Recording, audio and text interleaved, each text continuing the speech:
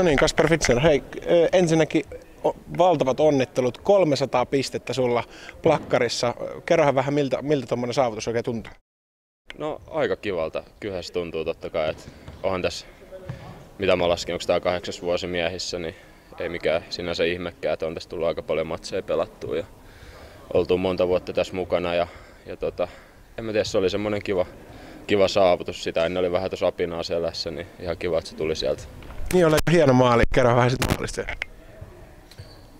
Aa, joo, Pertu, Pertu, Masa jako Pertulle siihen maaliin eteen jostain vaparista ja Perttu aika yritti itse siinä ja sitten se heitti sivu, sivulätyn siitä mulle maali eteen ja siinä oli pomppupallo ja siinä taisi olla Stenfors sialaksi ja siitä välistä pääsin, pääsin tuikkaseen sisään.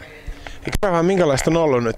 Tosiaan olet ollut kahdeksan vuotta jo miehissä mukana ja kokenut varmaan aika monen, monenlaista. Niin kerro vähän, minkälaisia, minkälaisia, niin kuin, minkälaisia, minkälaisia aikoina on ollut?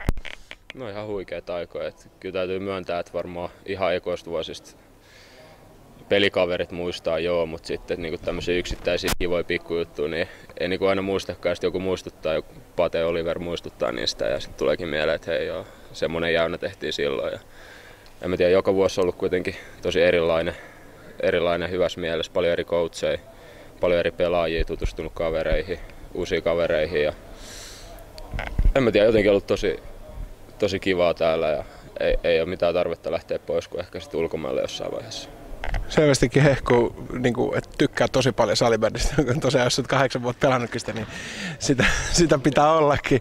Hei, kerrohan vähän, tota, nyt seuraavaksi tosiaan, tosiaan tulee vasta M-Team, ensimmäistä kertaa nyt pitkästä aikaa liigassa M-Team kotona. Niin kerrohan vähän, minkälainen tuo joukko on, kun ollessa yhden kerran pelannut sitä vastaan. Joo, voitettiin ne Pasilassa aika suurnumeroisesti. Saatiin YV aika paljon silloin ja kyllä me 5-5 peliäkin hallittiin. Sinänsä M-Team siellä on tuttu valmentaja Mika Heinonen, Maikki, jonka on tullut aina hyvin juttu ja kiva, kiva nähdä se taas täällä Tapiolas penkin takana ja kiva pelaa se jengi vastaan. Ja en mä tiedä, ne tarvii kuitenkin kans pisteitä, että ei joutuisi karsiin tai mitä mä nyt kattelin tai kuulin tänään. Ja, et ei sieltä niinku yhtään helppo matsi ole tulossa ja nämä nyt on näitä kliseitä, että ei tule helppo matsi, mutta kyllä mä väitän, että aika harvassa on ne pelit tässä tässä liigassa, kun on niin helppoja matseja. Et, et, tota, en mä tiedä, mutta jos me niin SSV-pelissä pelattiin, niin hyvin menee.